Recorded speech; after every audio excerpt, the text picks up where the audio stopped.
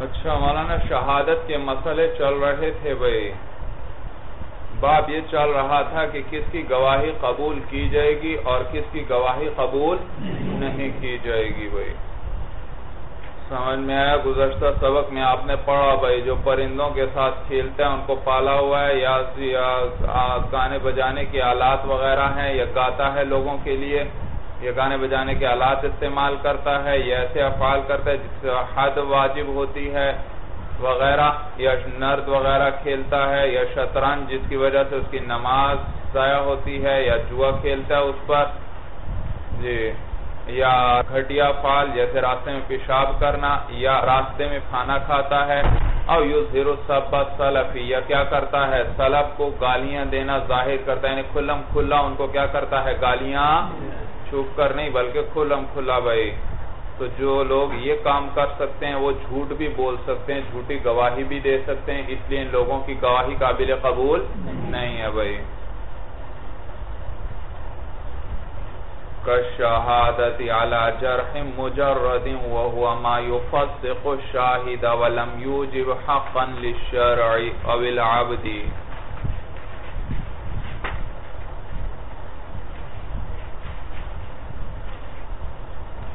بھائی پہلے جرح مجرد سمجھ لو۔ یاد رکھو، جرح مجرد پر گواہی قبول نہیں کر سکتا قاضی بھائی۔ وہ سنی نہیں جائے گی، قبول نہیں کی جائے گی بھائی۔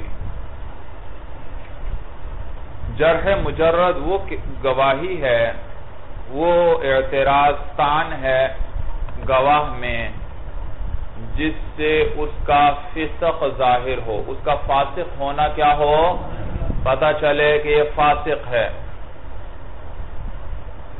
لیکن اس کی وجہ سے نہ تو حق اللہ ثابت ہو اور نہ ہی حق العبد ثابت ہو گئی۔ یعنی وہ جرا نہ تو حق اللہ کو ثابت کرنے والی ہو اور نہ حق العبد کو ثابت کرنے والی ہو۔ یاد رکھو، قاضی صرف وہ گواہی سن سکتا ہے جو حق اللہ کو ثابت کرنے والی ہو یا حق العبد کو ثابت کرنے والی ہو۔ حق اللہ کو ثابت کرنے والی یعنی حد وغیرہ۔ حد وغیرہ جس سے آتی ہو، وہ گواہی سن سکتا ہے۔ دو گواہ آتے ہیں آ کر گواہی دیتے ہیں کہ زید نے کیا کی ہے؟ مثلا چوری کی ہے۔ تو اب اس چوری کی وجہ سے کیا اس پر آئے گی بھائی؟ اس کا ہاتھ کاٹا جائے گا حد آئے گی تو حق اللہ کو ثابت کر رہی ہے یہ گواہی، اس لیے یہ گواہی وہ سن سکتا ہے بھائی قاضی کیا کر سکتا ہے؟ ہاں۔ یا مولانا، حق العبد کو وہ ثابت کرتی ہو بھائی گواہی۔ زید آیا آ کر اس نے دعویٰ کر دیا کہ بکر نے میرے دس لاکھ روپے دینے اور گواہ لے کر آ گیا دو مولانا۔ اب اس گواہی کی وجہ سے کیا ثابت ہو جائے گا؟ بکر پر زید کا حق ثابت ہو جائے گا، بکر کو وہ دس لاکھ روپے واپس کرنے پڑیں گے، زید کو بھائی۔ تو دیکھو، یہ گواہی قاضی سن سکتا ہے۔ تو قاضی صرف وہ گواہی سن سکتا ہے جس کی وجہ سے کیا ثابت ہوتا ہو بھائی؟ جو کیا ثابت کرتی ہو، حق اللہ کو یعنی حد وغیرہ کو، یا حق العبد کو۔ یعنی ایک آدمی کے دوسرے پر حق کو کیا کرتی ہو؟ اور اس کے علاوہ جو گواہی وغیرہ ہے، اس کو جرح مجرد کہیں گے بھائی، جرح مجرد، وہ قاضی نہیں سن سکتا بھائی، وہ قبول نہیں کرے گا۔ مثلا بھائی،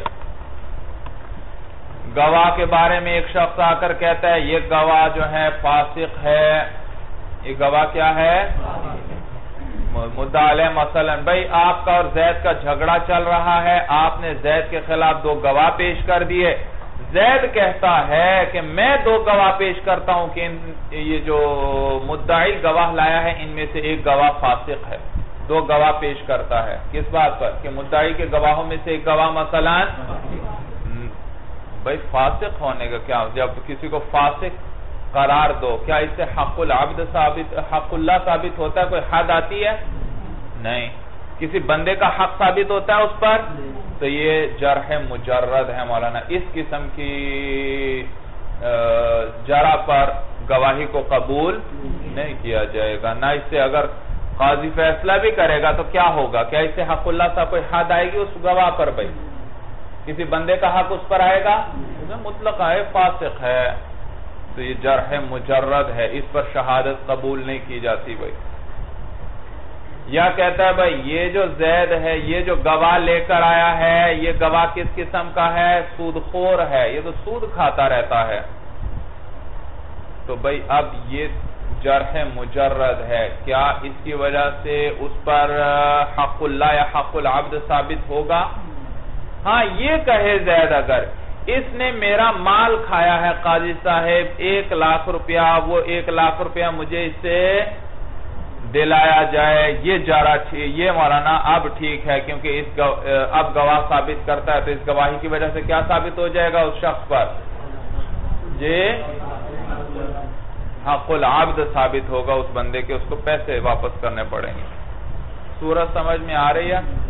تو وہ گواہی، جس کی وجہ سے کسی شخص کا فسق ظاہر، گواہ کا فسق تو ظاہر ہوتا ہے لیکن نہ تو حق اللہ اس سے ثابت ہوتا ہے اور نہ حق العبد ثابت ہوتا ہے۔ یہ جرح مجرد کہلاتی ہے اور جرح مجرد پر گواہی قبول۔ یا مثلا ایک شخص آتا ہے، گواہ لے کر آئے آپ۔ مدعا لے کہتا ہے، میں گواہ پیش کرتا ہوں۔ یہ جو آدمی ہے، یہ جو گواہ ہے ان میں سے، یہ ایک شرابی ہے ان میں سے۔ کیا ہے؟ شرابی۔ تو کیا صرف یہ کہہ دینے سے اور یہ کہہ دینے کی وجہ سے اس پر حد آئے گی؟ نہیں۔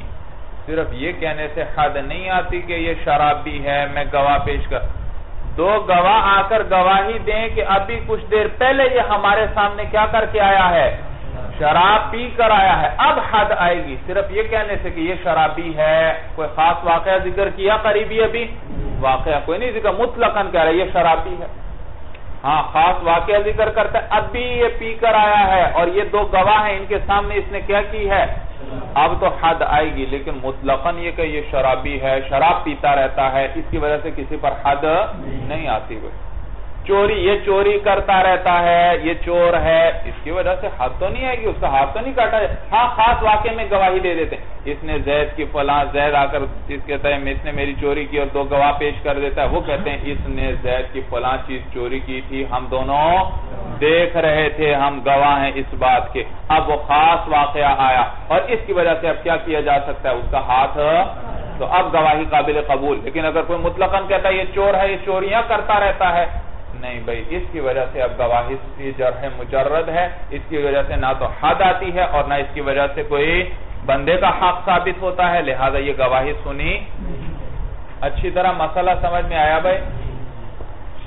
تو اوپر مسئلہ یہ ذکر ہوا بھائی کہ اگر دو بھائیوں نے گواہ، دو بھائیوں نے گواہی دی کہ ہمارا باپ جو غائب ہے، اس نے اس شخص کو وکیل مقرر کیا ہے اپنے پیسوں کے وصول کرنے کے لیے۔ تو کیا ان دو بیٹوں کی گواہی قبول کی جائے گی؟ آپ نے مسئلہ پڑھا تھا، ان دونوں بیٹوں کی گواہی قبول؟ کیونکہ باپ تو ابھی زندہ ہے بھائی اور غائب کے خلاف قاضی، کیا کہا کسی کو وکیل نہیں مقرر کر سکتا۔ تو لہذا یہاں وہ بینہ بھی اس پر نہیں سنے گا۔ معلوم وہ بیٹے باپ کا مال ہڑپ کرنا چاہتے ہیں، تہمت کا خدشہ آیا۔ تو ان کی گواہی رد کی جائے گی۔ تو کہتے ہیں جیسے ان کی گواہی رد کی جائے گی ان کی گواہی رد کی جائے گی کا شہادت اعلی جرح مجردین جیسے کہ گواہی کس پر ہوتی ہے؟ جرح، یہ بھی اسی طرح کیا کی جاتی ہے؟ وہ گواہی رد کی جاتی ہے، جیسے یہ شہادت جرح مجرد پر رد کی جاتی ہے۔ بھئی جرح مجرد کسے کہتے ہیں؟ کہتے ہیں وہ ہوا ما یفسق الشاہدہ۔ وہ جرح ہے جو گواہ کو کیا قرار دے دے؟ فاسق قرار دے دے، فسق کی طرف اس کی نسبت کرے، ولم یوجب حقا للشرعی او اول عبدی اور شریعت یا بندے کا کوئی حق اس پر ثابت نہ کرے۔ نہ تو بندے کا کوئی حق ثابت کرے اس پر کہ مال وغیرہ اس پر لازم ہو جائے، اور نہ ہی شریعت کا کوئی حق ثابت کرے اس پر یعنی کہ اس پر کوئی حد، سزا وغیرہ آئے ہوئے۔ دیکھیں مثال دے رہے ہیں جرح مجرد کی، یوں کہتے ہیں، مثل ہوا فاسقن، یہ گواہ کیسا ہے؟ یہ جرح مجرد ہے بھائی فسق اس پر قاضی نہیں سن سکتا بھائی، نا۔ او آکلو ریبا یہ یہ کس قسم کا آدمی ہے؟ سود کھانے والا ہے سود خور ہے۔ او انہو یا اس مدعی نے ان گواہوں کو اجرت پر بلایا ہے۔ مدعا کہتا ہے، قاضی صاحب، میں گواہ پیش کرتا ہوں اس بات پر کہ یہ جو مدعی دو گواہ لایا ہے، یہ کس قسم کے گواہ ہے بھائی؟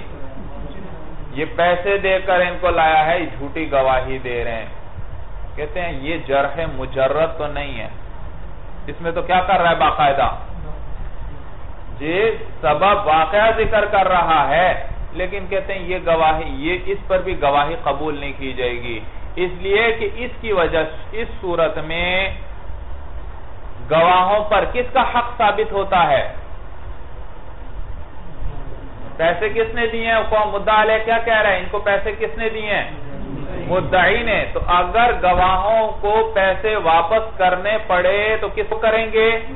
مدعی کو کریں گے۔ تو معلوم ہوا فریق یہاں پر یعنی خسم کون بنتا ہے؟ مدعی مدعی اگر دعویٰ کرنا چاہے دو گواہوں پر کہ قاضی صاحب ان دونوں کو میں نے پیسے دیے، انہوں نے میرے سے پیسے لیے گواہی کے لیے میرے پیسے ان سے لوٹائے جائیں، ان سے دلوائے جائیں، تو پھر اس کی طرف سے تو گواہی سنی جائے گی مولانا، کیونکہ اس کی وجہ سے کیا ثابت ہو رہا ہے؟ گواہوں پر اس کا حق ثابت ہو رہا ہے۔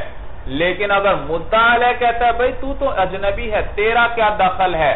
جہاں دعویٰ پیسوں کے لوٹانے کا صرف کون کر سکتا ہے؟ مدعی کر سکتا ہے۔ تم تو مدعا علیہ ہو، تمہارا اس میں دخل، تمہارے پیسے ان کے حوالے اس نے نہیں کیے، اپنے دیے ہیں، تم اجنبی ہو اور وہ فریق ہے، وہ چاہے تو وہ کر سکتا ہے، یہ بات کر سکتا ہے۔ آپ یہ بات نہیں کر سکتے۔ سورت سمجھ میں آگئے؟ سورت المسئلہ تھی سورت مسئلہ یہ ہے بھئی جی۔ علامہ صدر الشریع آپ کو بتائیں گے کہ دیکھو، آپ نے پڑھا تھا کہ قاضی کے لیے تعدیل ضروری ہے۔ امام صاحب کے مسلک کے مطابق تعدیل ضروری نہیں، گواہوں کی اور صاحبین کے نزدیک تعدیل امام صاحب فرماتے ہیں، قاضی پہلے تحقیق کرے کہ گواہ عادل ہیں تو پھر ان کی گواہی سنے صاحبین نہیں، امام صاحب کیا فرماتے ہیں؟ ضروری، کیونکہ ہر مسلمان عادل ہے۔ صاحبین فرماتے ہیں، نہیں، قاضی تحقیق کرے کہ گواہ عادل ہیں، پھر اس کے بعد ان کی گواہی سنے بھائی۔ اب کہتے ہیں، دو صورتیں یہاں ممکن ہیں۔ قاضی نے تحقیق کر لی ہوگی ان کی عدالت کی، یا قاضی نے تحقیق؟ اگر قاضی تحقیق کر چکا، ان کی عدالت ثابت ہو چکی گواہوں کی، تو اب جرح مجرد کو نہیں سنا جائے گا۔ قاضی کیا کر چکا ہے؟ گواہوں کی عدالت کی تحقیق کر چکا ہے پتہ کروا لیا اس نے، خفیہ طور پر کہ یہ گواہ عادل ہیں یا عادل نہیں؟ دونوں طرف سے کیا جواب آیا؟ دونوں گواہوں کا۔ یہ عادل ہیں۔ اب کوئی جرح مجرد کرتا ہے، اس قسم کی۔ یہ قاضی صاحب، یہ گواہ فاسق ہیں، یہ گواہ سود خور ہیں، یا ان کو اجرت پر لایا گیا ہے؟ نہیں بھائی، یہ جرح مجرد ہے، ان کو سنا نہیں جائے۔ لیکن اگر قاضی نے تعدیل ابھی نہیں کروائی تھی، ان کی عدالت کا پتہ ویسے سن رہے ہیں، ان کی گواہی سننے لگا ہے۔ اس صورت میں اگر کوئی جرح مجرد کر دیتا ہے، پھر اس کو سنا جائے گا۔ لیکن کیا پھر کیا کیا جائے گا؟ کہتے ہیں پھر قاضی تحقیق کروا لے کہ یہ عادل ہیں یا عادل نہیں بھائی۔ پھر عدالت جب ان کی ثابت ہو جائے تو پھر ان کو ان سے گواہی سنے ورنہ نہ سنے بھائی۔ سورت المسلط سورت مسئلہ یہ ہے کہ اذا اقام البینت علی العدالتی جب مدعی نے بینہ قائم کر دی ان گواہوں کی عدالت پر، فاقام الخصم البینت علی الجرح، پھر خصم نے بینہ قائم کر دی۔ کس پر بھئی جرحہ پر تان کیا کہ یہ گواہ عادل، تو وہ تو عدالت پر بینہ قائم کر چکا ہے۔ اب خصم نے جو جرح پر بینہ قائم کی ہے، کہتے ہیں انکان الجرح جرح مجردن اگر یہ جرح جرح مجرد تھی، لا یعتبر بینت الجرح، تو بینت الجرح کا اعتبار لیکن اگر خاص حق کی بینہ تھی، پھر کیا کیا جائے گا؟ حق العبد یا حق اللہ ثابت کرتی ہے یہ بینہ، تو پھر اس کو کیا کیا جائے گا؟ سونا جائے گا بھائی۔ لیکن جرح مجرد ہو تو پھر نہیں سونا جائے گا۔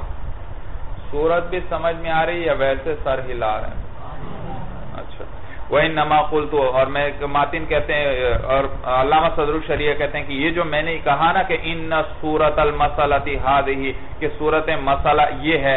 کہتے ہیں، لِأَنَّهُ لَوْ لَمْ يُقِمِ الْبَيِّنَةَ عَلَى الْعَدَالَتِ، اس لیے کہ اگر مدعی نے ابھی گواہوں کی عدالت پر بینہ قائم، ابھی بینہ قائم نہیں کی، فَأَخْبَرَ مُخْبِرٌ، پھر خبر دے دی۔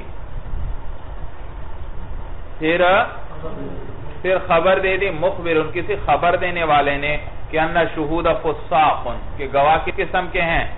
دیکھو، جرح مجرد ہو رہی ہے، گواہ کس قسم کے ہیں؟ او اکلت الربا، یا گواہ کس قسم کے ہیں؟ سود خور ہیں۔ فَإِنَّ الْحُكْمَ لَا يَجُوزُ قَبْلَ ثُبُوتِ الْعَدَالَتِ۔ تو اب فیصلہ کرنا جائز نہیں ہے جب تک کہ گواہوں کی عدالت ثابت لا سیما اذا اخبرہو مخبرانی، الف نون ہونا چاہیے۔ خاص طور پر جبکہ دو خبر دینے والوں نے خبر دی ہو کہ ان شہود فساق ان کے گواہ کس قسم کے ہیں؟ تو مخبرانی ایک الف نون اور بھی ہونا چاہیے۔ صورت سمجھ میں آ گئی بھائی؟ تو جرح مجرد پر گواہی نہیں سنی جائے گی۔ تعدیل کے بعد، لیکن اگر تعدیل سے پہلے ہو تو پھر اس صورت میں سنی جائے گی بائی معنی کہ ان گواہوں کی عدالت کی کیا کر لی جائے گی؟ تحقیق کر لی جائے گی۔ وَتُقْبَلُ عَلَىٰ اِقْرَارِ الْمُدَّعِ بِفِسْقِهِمْ۔ صورت یہ بھئی آپ کا اور زید کا مقدمہ آیا قاضی کے پاس۔ اور زید دو گواہ لے کر آیا، وہ مدعی ہے بھئی آپ قاضی کے پاس آ کر کہتے ہیں، قاضی صاحب، یہ دونوں زید نے جو مدعی ہے، اس نے کل میرے سامنے اقرار کیا تھا کہ یہ جو میرے گواہ ہیں، کس قسم کے ہیں؟ فاسق ہیں۔ زید نے جو مدعی ہے، جو دو گواہ لے کر آیا آپ کے خلاف، اس نے آپ کے سامنے کیا کیا تھا؟ اقرار کیا تھا کہ یہ دونوں گواہ کس قسم کے میں لایا ہوں؟ کسی کو پتا تو نہیں ہے، لیکن یہ دونوں گواہ فاسق ہیں۔ یہ میں بتا دوں، مثلا یہ خرابی ہے یہ خرابی ہے ان کے اندر۔ اور آپ نے اس پر دو گواہ بھی پیش کر دیے۔ اب کہتے ہیں یہ گواہی آپ کی سنی جائے گی۔ اس لیے کہ یہاں اگرچہ جرح مجرد ہے، لیکن آپ نہیں کر رہے۔ آپ تو کس چیز پر گواہ پیش کر رہے ہیں؟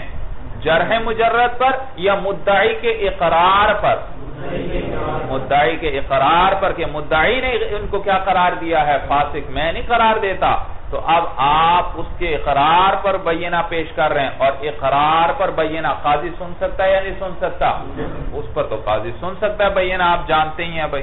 تو لہذا سن۔ یہ معنی وَتُقْبَلُ، قبول کی جائے گی گواہی اعلی اقرار المدعی کس پر؟ مدعی کے اقرار پر بے فسقہم، ان کے فسق کے بارے میں۔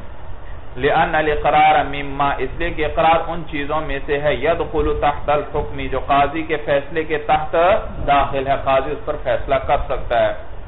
ہاں البتہ قاضی کسی کو جرح مجرد نہیں سن سکتا، کسی کو ویسے فاسق قرار دے دے بھئی فسق تو توبہ سے ختم ہو جائے کرتا ہے۔ قاضی کون ہوتا ہے؟ کسی کو کیا قرار دینے والا؟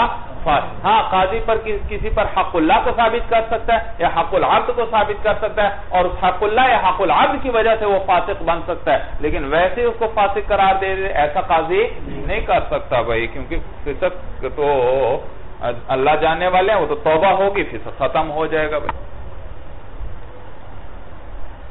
تو تقبل بینہ قبول کی جائے گی۔ او علا، یا اس بات پر بینہ قبول کی جائے گی کہ انہم عبیدن کہ یہ غلام کس قسم کے، یہ جو گواہ کس قسم کے ہیں، قاضی صاحب؟ عبید جمع ہے عبد کی، یہ غلام ہیں۔ اور غلام کی تو شریعت میں تو یہ حق الشرع ہے مولانا کہ شہادت کے اہل ہی نہیں بھئی او محدودون فی القذفی یا یہ گواہ کس قسم کے ہیں؟ محدود فی القذف ہیں، تو یہ بھی سنی جائے گی اس لیے کہ شریعت حق و شرع ہے۔ شریعت ان کو شہادت کی، شہادت کا حق نہیں دیتی۔ او شاربو خمرن۔ یا یہ گواہ قاضی صاحب کس قسم کے ہیں؟ شراب خور ہیں۔ یہ نہ کہنا بھئی ابھی شراب پی کر آئے ہیں۔ شراب کے اندر زمانے کا قریب ہونا بھی ضروری بھئی سمجھ میں آیا؟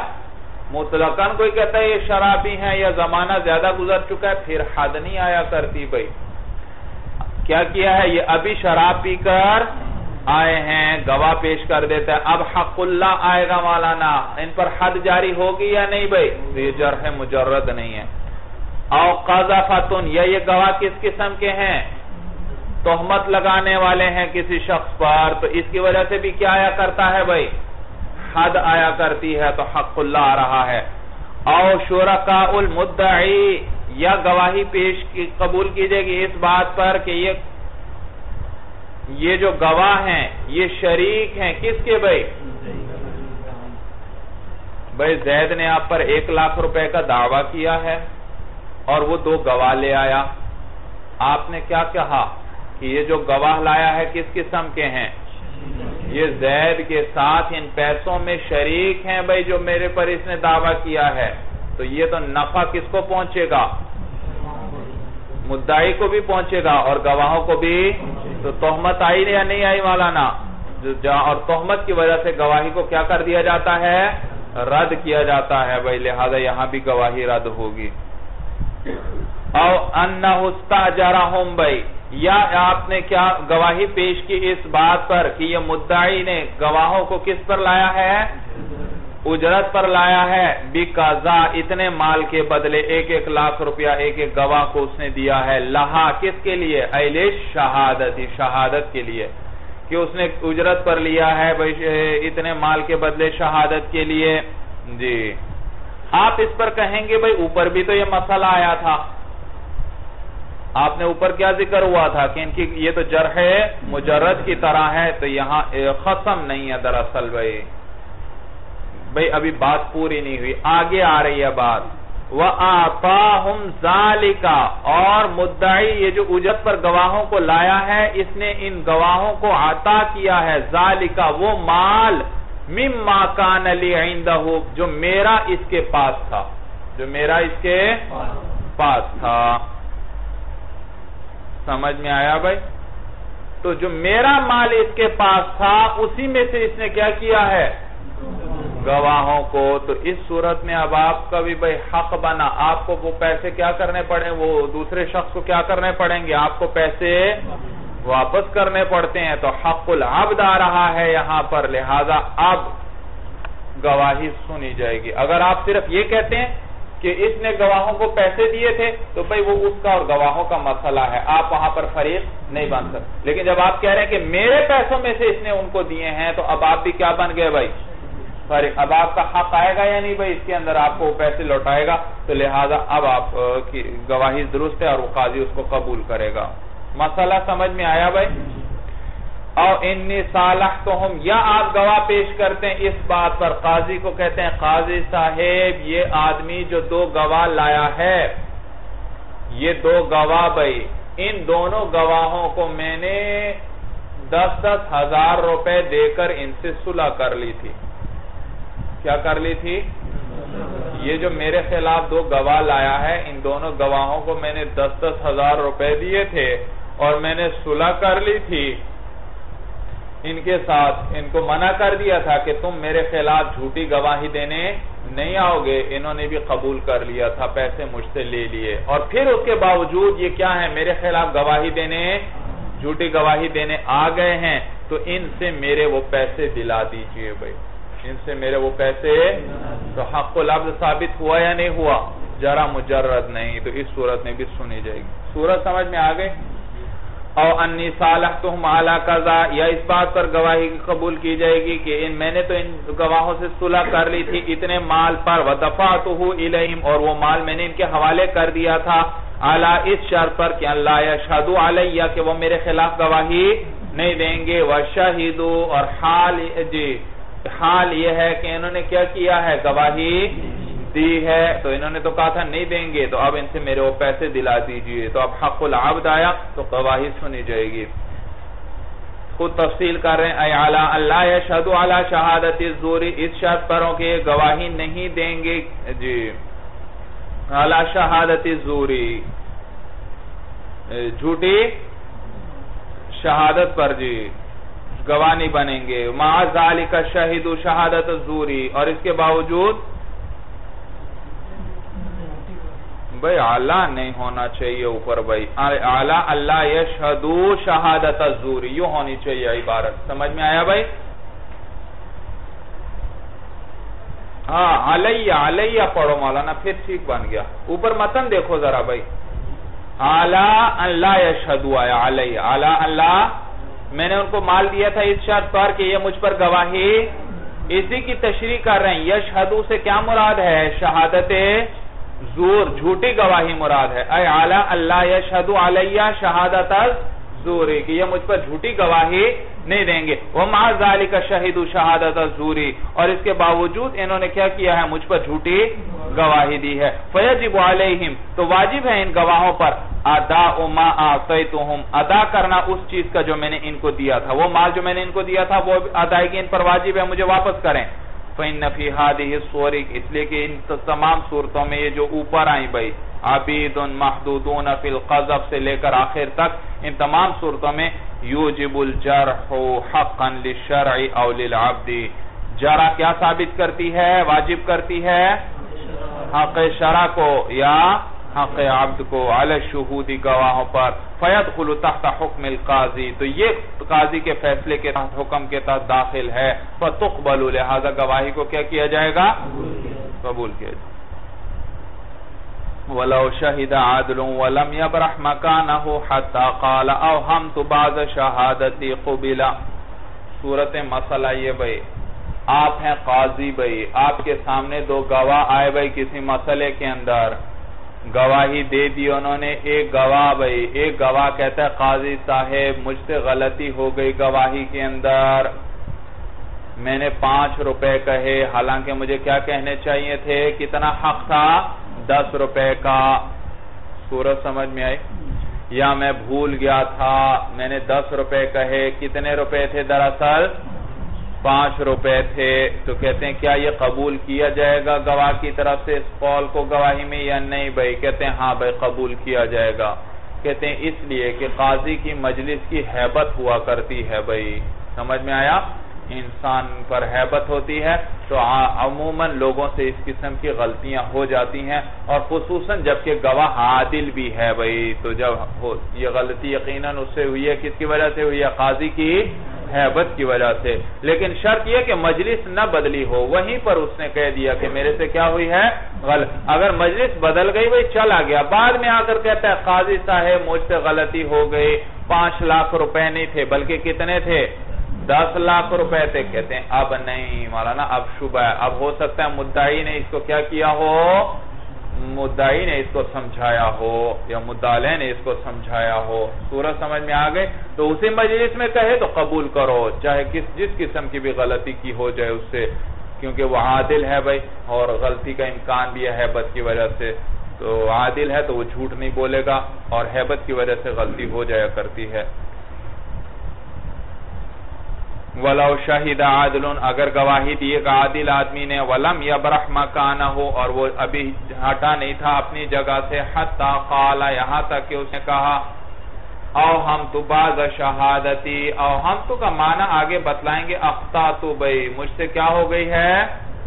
غلطی ہو گئی ہے باز شہادتی بھئی، کس کے اندر اپنی بازے کچھ گواہی کے اندر میرے کچھ حصے میں مجھ سے غلطی ہو گئی ہے قبیلہ کیا کیا جائے گا؟ اس کے اس قول کو قبول کیا جائے گا۔ دیکھیے، خود بتلا رہے آہم تو کا کیا معنی؟ آئی اختا تو میرے سے غلطی ہو گئی بھئی اچھا اے افتا، تو مجھ سے کیا ہو گئی بھائی؟ غلطی ہو گئی بینی سیانی ما یجب ذکر ہو بوجہ بھول جانے اس چیز کے کہ جس کا ذکر کرنا واجب تھا۔ کما عزت دال مدعی عشرت دراہیم جیسے کہ دعویٰ کیا ہو، مدعی نے کتنے دراہیم کا بھائی؟ مدعی نے تو دس دراہیم کا دعویٰ کیا تھا۔ فشہد علی الخمستی، اور گواہ نے کتنے پر گواہی دے دی؟ پانچ پر۔ ثم قال، پھر کہتا ہے، نسیت البعض، میں بعض کو کیا ہوا تھا؟ کچھ کو بھول گیا تھا۔ بل الواجب عشر، میں تو کچھ بھول گیا تھا۔ کچھ بھئی کیسے؟ بل الواجب عشرتن، بلکہ واجب تو کتنے ہیں بھئی دس ہیں۔ او قال، یوں کہتا ہے اختات بزیادت باطلت بھئی میں نے غلطی کی ہے بھئی کس کے ساتھ بھئی بوجہ باطل زیادتی کی یعنی کچھ چیز کیا ہوئی ہے، مجھ سے زیادہ بیان ہو گئی ہے۔ کما عزت دا المدعی خمسط دراہیما جیسے کہ دعویٰ کیا، مدعی نے کتنے کا دعویٰ کیا بھائی؟ پانچ دراہیم کا۔ فشہد علی عشرتن، پھر کتنے پر اس نے گواہی دے دی؟ مدعی نے پانچ کا دعویٰ کیا ہے اور گواہ نے کتنے پر گواہی دے دی؟ دس پر۔ ثم قال، پھر کہا اختا تو مجھ سے کیا ہوئی ہے؟ غلطی ہوئی ہے۔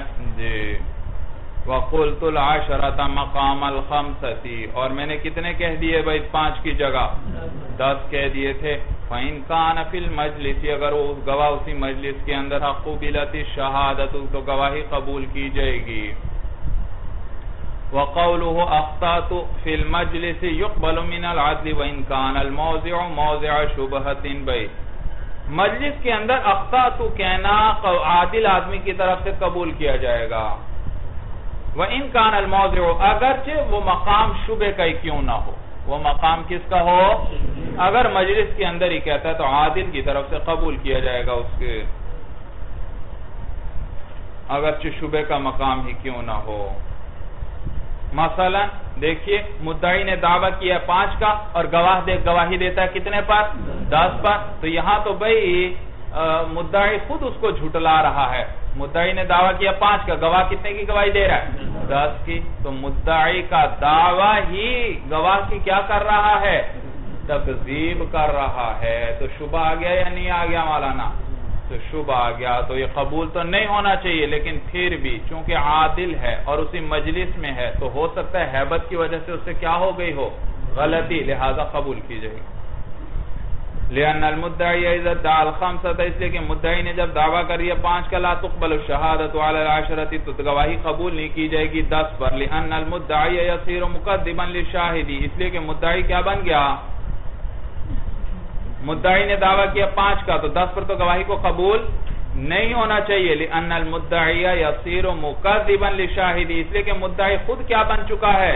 گواہ کو، وہ خود گواہ کو جھٹلانے والا ہے۔ یہ کہہ رہا ہے پانچ ہے، گواہ کتنے کہہ رہا ہے؟ تو اس کا اپنا قول ہی اس کے گواہ کو جھٹلا رہا ہے۔ وفی غیر حاضر المجلسی تو شبہ بھی کیوں نہ ہو، اس مجلس میں قبول کیا جائے گا۔ اگر شبہ کا مقام نہ ہو، تو مجلس کے علاوہ میں بھی اس کو کیا کر لیا جائے گا؟ وفی غیر حاضر مجلس اور قبول کیا جائے گا مجلس کے علاوہ کے میں بھی عادل کے قول کو۔ انکان الموضع موضع اچھا وفی غیر حاضر مجلس اور اس مجلس کے علاقہ کے اندر انکان الموضع موضع شبہتن اگر وہ مقام کس قسم کا تھا بھائی؟ شبہ کا مقام تھا، لا تقبلو، تو پھر اس کو قبول نہیں کیا جائے گا لئنہو یوہی متلبیس من المدعی اس لیے کہ یہ وہم ڈالتا ہے مدعی کی طرف سے تلبیس کا، کہ اس نے کیا کیا ہے، کوئی مکر وغیرہ کیا ہے۔ سورت سمجھ میں آئی، اس نے گواہ کو اپنے ساتھ ملایا، یا مدعلے نے ملایا اپنے ساتھ، بھائی۔ تو شبے کے مقام میں اسی مجلس میں تو قبول کریں گے، لیکن اس مجلس کے بعد دوبارہ ہو تو پھر قبول وہی لم یکن الموضع موضع شبہتن لیکن اگر وہ مقام شبے کا مقام نہ ہوا کما اذا لم یذکر لفظت شہادتی جیسے کہ گواہ نے شہادت کے لفظ کو ذکر، بھئی آپ نے پڑھا تھا شہادت کے اندر کیا ضروری ہے، کس لفظ کو ذکر کرے؟ اشہدو کے لفظ کو ذکر کرے۔ تو گواہ اشہدو کے لفظ کو بھول گیا تھا ثم یزید فی مجلس آخر لفظت شہادتی، پھر وہ بڑھاتا ہے دوسری مجلس کے اندر شہادت کے لفظ کو بھئی، تقبل من العادلی تو پھر یہ گواہ کی طرف سے اس میں کوئی شبہ کا مقام نہیں، شہادت کا لفظ بھول گیا۔ ما ان المجلس مختلف، باوجود اس کے کہ مجلس کیا ہے؟ مختلف ہے۔ وشرط موافقت الشہادت للدعوى كاتفاق الشاہدین لفظا ومانا عند ابی حنیفت رحمه اللہ تعالی فإن عندهما لا يشترط اتفاقهما لفظا ومانا بل يكفي اتفاقهما اتفاقهما مانا مانا بھئی دیکھو گواہی اسی صورت میں قبول کی جائے گی جبکہ گواہی دعوے کے موافق ہو۔ اگر گواہی اور دعوے میں مخالفت ہو تو پھر گواہی قبول موافقت ہو۔ مثلا بھائی، آپ نے دعویٰ کیا ہے زید پر دس ہزار روپے کا اور جو گواہ پیش کیے وہ بھی آ کر کیا کہتے ہیں؟ کتنے پیسے دینے زید نے آپ کے؟ دس ہزار تو دیکھو گواہی دعوے کے موافق کو یہ قبول کی جائے گی۔ لیکن اگر گواہی دعوے کے موافق نہیں تو قبول نہیں کی جائے گی۔ آپ نے کہا دعویٰ کیا زید نے میرے دس ہزار روپے دینے ہیں۔ گواہ کر گواہی دیتے ہیں کہ ہم گواہی دیتے ہیں زید نے آپ کی ایک من گندم دینی ہے بھائی۔ دیکھو دعوے میں اور گواہی میں موافقت آئی۔ لہذا یہ گواہی قبول نہیں کی جائے گی۔ کہتے ہیں یہ اسی طرح ہے جیسے دو گواہوں کی موافقت بھی ضروری، جیسے دعوے اور گواہی میں موافقت ضروری۔ اسی طرح دونوں گواہوں کے اندر بھی موافقت کا ہونا ضروری بھائی۔ سورج سمجھ میں آگے بھائی؟ ایک دس ہزار کی گواہی دے رہا ہے، تو دوسرا بھی کتنے کی گواہی دے؟ ایک نے دس ہزار کی گواہی دی، دوسرا ایک من گندم کی گواہی دے رہا ہے۔ بھائی، یہ قابل قبول نہیں۔ وشوریتا اور شرط لگائی گئی ہے موافقت الشاہ موافقت الشہادتی، شہادت کے موافق ہونے کی، کس کے موافق ہونے کی لیے دعویٰ؟ دعویٰ کی کہ شہادت کو کس کے موافق ہونا چاہیے؟ دعویٰ کے اتفاق شاہدین لفظوں و معنن جیسے کہ دو گواہوں کا اتفاق ہو، لفظوں کے اعتبار سے بھی اور بھئی گواہوں کا امام اعظم ابو حنیفہ رحمہ اللہ فرماتے ہیں دونوں گواہوں کا لفظاً اور معنن اتفاق ضروری ہے۔ صاحبین فرماتے ہیں صرف معنی کے اندر اتفاق کافی ہے، لفظوں کے اندر اتفاق ضروری نہیں۔ امام صاحب کیا فرماتے ہیں بھائی؟ دونوں گواہوں کا لفظ اور معنی دونوں میں اتفاق ضروری یعنی لفظوں میں اتفاق کا معنی یہ کہ دونوں لفظ ایک ہی معنی کا فائدہ دیتے ہوں۔ دونوں لفظ کیا ہوں؟ جی۔ جبکہ صاحبین فرماتے ہیں، نہیں، لفظوں میں اختلاف آ بھی جائے تو کوئی حرج نہیں، لیکن معنی کے اندر کیا ہے؟ موافقت دونوں کی ہونی چاہیے۔ دیکھو بھائی صورت یہ مثلا۔ زید نے بکر پر کتنے کا دعویٰ کیا؟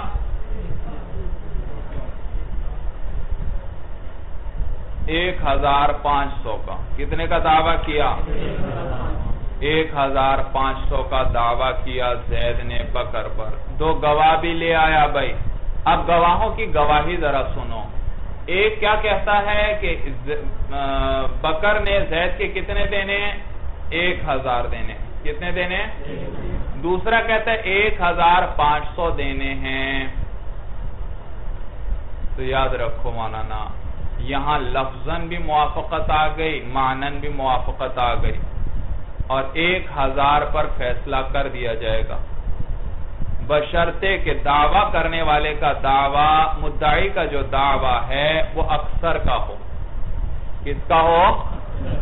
بھائی گواہ گواہ، زیادہ سے زیادہ جو گواہ نے ذکر کیے، وہ کتنے پیسے تھے؟ پندرہ نہ کہو، لفظ نہ بدلو۔ ایک ہزار ایک ہزار پانچ سو کہے۔ اور مدعی نے دعویٰ بھی کتنا کیا تھا؟ اکثر کا دعویٰ کیا تھا، اقل صرف ایک ہزار کا دعویٰ پھر صورت بدل جائے گی۔ اگر مدعی نے کہا تھا ایک ہزار میں نے دینے ہیں اور پھر ایک گواہ کہتا ہے ایک ہزار دینے ایک کہتا ہے ایک ہزار پانچ سو، پھر نہیں۔ پھر تو ایک کی گواہی قبول ہوگی، دوسرے کی گواہی سرے سے قبول ہی نہیں۔ کیوں؟ دعویٰ کتنے کا کیا؟ اور ایک گواہ کتنا کہہ رہا ہے؟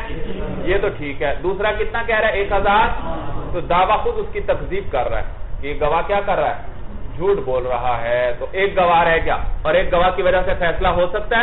ایک گواہ سے فیصلہ۔ لہذا وہ صورت بناؤ۔ جبکہ آپ مدعی نے کتنے کا دعویٰ کیا ہو؟ اکثر والا دعویٰ ہو۔ عقل کے برابر اس کا دعویٰ۔ اور اکثر کتنا ہے؟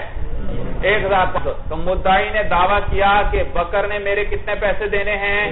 ایک ہزار پانچ سو۔ اور ایک گواہ نے آ کر کہا کہ واقعی اس نے کتنے دینے ہیں؟ اس کے ایک ہزار پانچ سو۔ اور ایک کتنا کہتا ہے؟ ایک ہزار۔ ایک ہزار۔ اب دیکھو مولانا، دو گواہوں کی موافقت ایک ہزار میں ہے اور پانچ سو میں نہیں۔ پہلے گواہ ایک نے کیا کہا ہے؟ ایک ہزار۔ دوسرے نے بھی کیا کہا؟ ایک ہزار۔ تو ہزار کا لفظ ہے یا نہیں؟ ہزار پر اس نے بھی گواہی دے دی۔ سات کتنا اور ملا دیا؟ تو پانچ سو میں یہ اکیلا ہوا اور ہزار اور ہزار میں دونوں کیا ہوئے؟ برابر متفق ہوئے دونوں، تو دو کی گواہی ہزار ہزار پر آ گئی۔ تو لہٰذا اب ان دو کی گواہی کی وجہ سے کتنا ثابت ہو جائے گا؟ ایک ہزار۔ اور وہ پانچ سو میں ایک شخص اکیلا رہ گیا اور ایک کی گواہی کی وجہ سے پانچ سو ثابت نہیں ہو سکتا۔ سورج سمجھ میں آ گئی بھائی؟ تو یہاں بھائی، جب یہ کہا تو دونوں لفظن بھی اتفاق آیا، کیونکہ دونوں کیا ذکر کر رہے ہیں؟ ایک ایک ہزار۔ اور معنی میں بھی اتفاق آ گیا، کیونکہ معنی بھی کتنا ہوا؟ ایک ہی ہو گیا دونوں کا۔ لہذا دیکھو بھائی، ایک نے کہا اس نے عربی عبارت بنا لو بھائی۔ ایک نے کہا کہ اس نے میرے الف دینے ہیں۔ دعویٰ اس نے کتنے کا کیا؟ میرے دو ہزار اس نے الفین دینے ہیں۔ کتنے دینے ہیں؟ دو ہزار دینے ہیں۔ الفین کا لفظ بولا۔ اور گواہ پیش کر دیے دو بھائی۔ اب دعویٰ کتنے کا؟ الفین کا۔ ایک گواہ نے کہا، کتنے دینے ہیں؟ الفین۔ دوسرے نے کتنا کہا؟ الف کہہ دیا۔ کتنا کہہ دیا؟ الف کہہ دیا۔ اب مولانا امام صاحب فرماتے ہیں کہ دونوں گواہوں میں موافقت نہیں، لفظوں کے اندر، لفظوں کے اندر موافقت نہیں ہے۔ کیونکہ پچھلے میں تو باقاعدہ دونوں میں الف الف کا ذکر آیا تھا۔ یہاں پر تو ایک میں الف کا ذکر ہے تو دوسرے کے اندر الفین، الف الگ چیز ہے، الفین الگ چیز ہے، لفظ بدل گئے تو لفظ جب بدلے تو معنی بھی بدل گیا، لہذا اب الفین پر بھی ایک گواہ، الف پر بھی ایک گواہ اور ایک گواہ کی وجہ سے کچھ بھی ثابت نہ الف ثابت ہو سکتا ہے اور نہ الفین بھائی۔ صاحبین فرماتے ہیں کوئی حرج نہیں۔ ایک ہزار پھر بھی ثابت ہو گیا، کیونکہ ال ایک نے گواہی کتنے پر دی ہے؟ الف پر۔ تو الف اس سے ثابت ہوا۔ الف اور دوسرے نے الفین پر گواہی دی ہے۔ تو الفین کے زمن میں کیا آ گیا؟ الف آ گیا بھائی۔ تو لہٰذا ایک ہزار کیا ہو جائے گا؟ ثابت۔ تو معنی کے اندر موافقت کافی ہے صاحبین کے نزدیک۔ اور امام صاحب کیا فرماتے ہیں؟ لفظن اور مانن وشورت موافقت الشہادت للدعوہ اور شرط لگائی گئی ہے گواہی کی، دعویٰ کے ساتھ موافقت کی اتفاق شاہدینی جیسے کہ دو گواہوں کے اتفاق کی شرط لگائی گئی ہے۔ لفظوں و معنن لفظوں میں اتفاق ہونا چاہیے، اور معنی میں بھی اتفاق ہونا چاہیے۔ عند ابی حنیفہ رحمہ اللہ، امام اعظم ابو حنیفہ رحمہ اللہ کے نزدیک فَإِنَّ عِنْدَهُمَا، اس لیے کہ صاحبین کے نزدیک لا يُشْتَرَتُ اتفاقهما لفظا ومعنا۔ گواہوں کے لفظاً اور معنن متفق ہونے کی شرط نہیں لگائی جائے گی بل یکف اتفاقهما معنا، بلکہ صرف دونوں کے معنی کے اتفاق کی بل یکف اتفاقهما معنا، بلکہ دونوں کا معنی میں اتفاق ہی کافی ہے۔ فَتُرَدُّ پس رد کی جائے گی گواہی ان شہیدہ احدہما۔ اگر گواہی دی دونوں میں سے ایک نے بھی الفین۔ کتنے میں کی بھئی ایک ہزار کی۔ والآخر بھی الفین۔ اور دوسرے نے کتنے کی دی؟ یہ کس کے نزدیک گواہی رد کی جائے گی؟ امام صاحب کے نزدیک۔ اور صاحبین کیا فرماتے ہیں؟ کتنے پر فیصلہ ہو جائے گا؟ ایک ہزار پر، کیونکہ دو ہزار کے زمن میں ایک ہزار بھی آ گیا۔ می آتی یعنی ایک نے گواہی کتنے پر دی؟ سو پر، دوسرے نے گواہی کتنے پر دی؟ دو سو پر۔ بشرتے کہ دعویٰ بھی کتنا ہو؟ اکثر پر ہو۔ کتنے پر ہو؟ ہاں۔ اقلب اگر میاں کا دعویٰ ہوا، پھر کچھ بھی نہیں ہوگا بھائی۔ تو ایک نے سو کی گواہی دی، دوسرے نے میاتین کی گواہی دی مولانا۔ تو اب میاتین میں بھی میاں آ گیا، تو صاحبین کے نزدیک میاں ثابت ہو جائے گا۔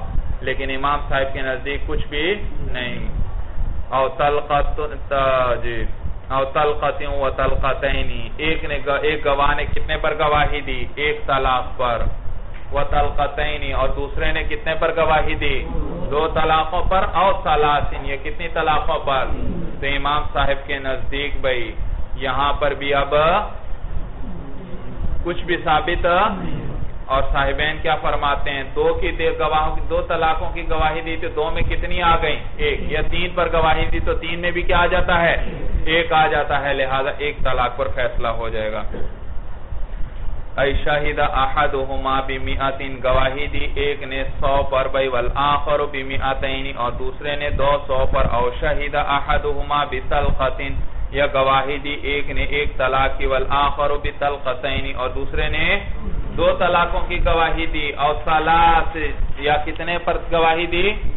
فَإِنَّهَا تُرَدُّ عِنْدَ أَبِي حَنِيفَةَ رحم اللہ۔ تو یہ جو گواہی ہے، اس کو رد کیا جائے گا امام صاحب کے نزدیک۔ وَعِنْدَهُمَا تُقْبَلُ عَلَى الْأَقَلِّ۔ صاحبین کے نزدیک کس پر قبول کر لیا جائے گا؟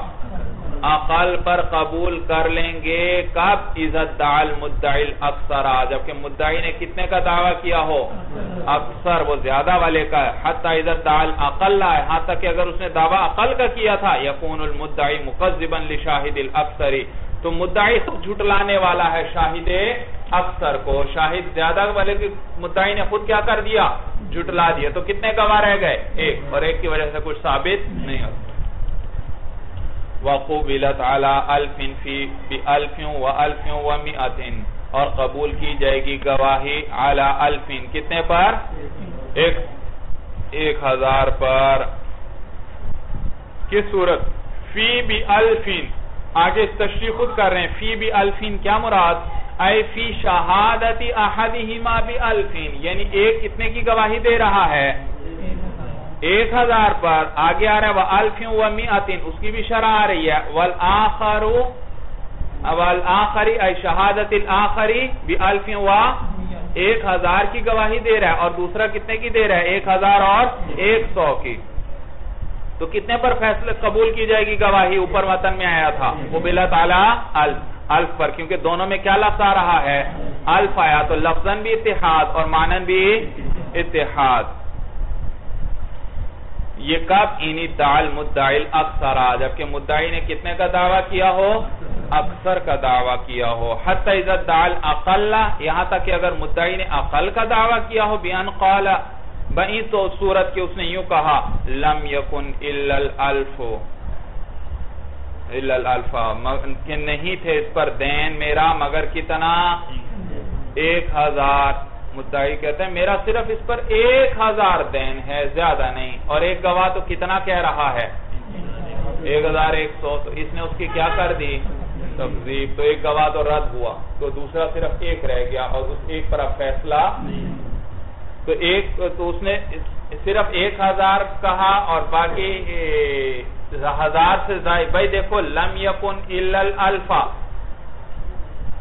حرف نفی اور اللہ کے ساتھ کلام کیا اور یہ کس چیز کا فائدہ دیتا ہے؟ حسر کا فائدہ دیتا ہے۔ معلوم ہوا دین کتنا ہے؟ صرف اور ایک ہزار سے زیادہ کی کیا ہو گئی؟ نفی ہو گئی۔ تو لہذا نفی کر دے زیادہ کی، پھر بھی یہی مسئلہ۔ اور یا زیادہ کی نفی تو نہیں کرتا، اس سے سکوت کر لے، پھر بھی مسئلہ اسی طرح ہے۔ مثلا بھائی، مدعی کیا کہتا ہے؟ کہ زید نے میرے کتنے پیسے دینے ہیں؟ ایک ہزار بس۔ زیادہ ہیں یا زیادہ نہیں؟ اس کو اس نے اس بات بھی نہیں کیا اور اس کا رد بھی نہیں کیا۔ صرف یہ کہا، میرے ایک ہزار دینے، سکوت کر لیا زائد سے۔ تو دونوں صورتوں میں، چاہے زائد کی نفی کرے مدعی، چاہے زائد سے کیا کرے؟ سکوت کرے۔ دونوں صورتوں میں عقل کی صورت میں شاہد اکثر کی گواہی کیا ہو جائے گی؟ باطل ہو جائے گی۔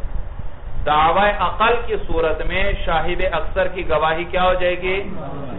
جی دعوی عقل میں میں نے بتلایا، چاہے سرے سے زائد کی کیا کر دے؟ نفی کر دے، یا زائد سے کیا کر لے سکوت کر لے۔ دونوں صورتوں میں اسی طرح۔ بات سمجھ میں آگے سب کو بھائی؟ اچھا۔ حتی اذا الاقلب حتی یہاں تک کہ اگر اس نے دعویٰ عقل کا کر دیا بیان قال بہی صورت کی اس نے کہا، لم یکن الا الالفا کہ نہیں تھا میرا دین اس پر، مگر ایک ہزار ہی۔ او سکتا عن دعوی المئت الزائدتی یا وہ جو زائد ایک سو تھے، ان کے دعویٰ سے اس نے کیا کر لیا؟ سکوت کر لیا۔ دونوں صورتوں میں لم تقبل شہادت شہادت مثبت زیادتی دونوں صورتوں میں اس گواہی کو قبول نہیں کیا جائے گا، مثبت الزیادتی، جو کیا کرنے والی ہے؟ زیادتی کو ثابت کرنے والی ہو۔ وہ اما ہاں اگر اس نے یوں کہا، تطبیق دے دی اپنے کلام میں اور گواہ کے کلام میں، اس نے دعویٰ کتنے کا کیا ہے؟ ایک ہزار اور جو دو گواہی دے رہے ہیں، ان میں سے ایک نے کتنے گواہی دی؟ اور دوسرے نے ایک ہزار ایک سو کی۔ یہ خود ہی تطبیق دے دیتا ہے۔ قاضی صاحب، ایک ہزار ایک سو تھے، لیکن ایک سو یہ مجھے ادا کر چکا ہے، یا ایک سو میں نے اس کو کیا کر دیے؟ معاف کر دی۔ اب تطبیق آ گئی دونوں کلاموں میں۔ اب کیا کیا جائے گا؟ دونوں کی گواہی سنی جائے گی اور فیصلہ ہزار پر کیا جائے گا۔ وَأَمَّا إِن قَالَ اور باقی اگر اس نے یوں کہا، کان اصل حق الفن میرا اصل حق کتنا تھا؟ ایک ہزار الفا و ایک ہزار ایک سو تھا ولیکن نستوفیت المیعتا لیکن میں نے وصول کر لیے ایک سو روپے او ابرأتہو عنہا یا میں نے اس کو معاف بری کر دیا، ان ایک سو سے یعنی معاف کر دیا۔ قبلت شہادتہو تو اس کی گواہی کو اب کیا کیا جائے گا؟ اس اکثر والے کی گواہی کو بھی قبول کر لیا جائے گا توفیق کس وجہ سے؟ توفیق اور موافقت اور تطبیق کی وجہ سے. اچھا جی. کا تلقتیں و تلقتیں و نصفیں و و و عشرتیں جیسے ایک شخص نے ایک گواہ نے گواہی کتنے کی دی؟ ایک طلاق کی. اور دوسرے نے کتنے کی گواہی دی؟ تلقتیں و نصفیں ایک طلاق اور نصف کی. تو دیکھو دونوں میں کیا لفظ آ گیا؟ تلقہ تلقہ کا لفظ دونوں میں موافقت لفظوں میں آ گئی یا نہیں آ گئی؟ تو لہذا کتنے پر فیصلہ کر دیا جائے گا؟ یا ایک نے گواہی دی میاں سو پر اور دوسرے نے میاں تو عشرہ میاں اور عشرہ پر، تو دونوں میں کیا لفظ آ گیا؟ میاں آ گیا، تو فیصلہ کتنے پر ہو جائے گا؟ میاں پر۔ ای کا شہادتی احدہما بطلقت جیسے ایک کی گواہی ایک طلاق پر ہو، والآخری اور دوسرے کی گواہی بطلقت و نصفین ڈیڑھ طلاق پر ہو، ایک اور نصف پر ہو، وشہادتی احدہما بمیعتین ایک کی گواہی کتنے پر ہو؟ میعہ پر ہو، والآخری بمیعتین و اور دوسرے کی گواہی میعہ اور عشرہ پر ہو۔ فَإِنَّ شَهَادَةَ مَقْبُولَةٌ اتفاقاً، تو بالاتفاق یہ گواہی کیا ہے؟ صاحبین کے نزدیک بھی یہ کیونکہ صاحبین کے نزدیک صرف کس میں اتفاق ضروری معنی میں، اور معنی میں یہاں کتنے میں اتفاق آ رہا ہے؟ ایک طلاق میں اور سو میں، اور امام صاحب کے نزدیک بھی لفظاً بھی اتفاق آ رہا ہے، اور معنی للتفاق علی الالف وعلی التلقت اس لیے کہ اتفاق بوجہ اتفاق ہونے کے الف اور تلقہ پر وعلی المیعاتی اور میعہ پر۔ ولا شک، اور اس بات میں کوئی شک نہیں، ان قولہما اظہر، صاحبین کا قول زیادہ ظاہر ہے بھئی وفرق ابی حنیفہ رحمہ اللہ ضعیف۔ اور امام ابو حنیفہ رحمہ اللہ نے جو فرق بیان کیا بھئی وہ ضعیف ہے کہ الف اور الفین الگ الگ چیز ہیں۔ میعہ اور میعتین الگ الگ چیز ہیں۔ صاحبین فرماتے ہیں، نہیں، معنی کے اندر موافقت ہے۔ ہاں، دو ہزار میں ایک ہزار آ گیا، دو سو کے اندر ایک سو آ گیا بھئی تو ان کا قول زیادہ ظاہر ہے۔ تو صاحبین کا قول ضعیف ہے بھئی وہ کیا فرماتے ہیں؟ وہ یہ جی؟ ہاں امام صاحب. امام صاحب کا فرق جو انہوں نے کیا وہ ضعیف ہے، وہ کیا فرق ہے؟ وہ خود بیان کریں۔ وہ ہوا انہما متفقان علی یہ کہ دونوں متفق ہیں، الف کے پر کس میں؟ فی شہادتی احدہما بالالف والآخر بالالف و میعتین جبکہ ایک نے گواہی دی ہے الف کی اور دوسرے نے الف و میاں کی تو کتنے میں موافقت آ گئی؟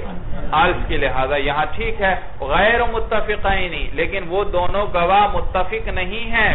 کب فی شہادتی آدھیما بالالف والآخر بالالفین، جبکہ ایک نے کتنے کی گواہی دی ہو؟ ہزار کی، اور دوسرے نے الفین دو۔ تو الف الگ لفظ ہے، الفین۔ کبھی بھی الف کو الفین کے ساتھ ادا نہیں کیا جا سکتا۔ چلیے بس مانا هذا هو المرام اللہ علم بحقیقت الکلام۔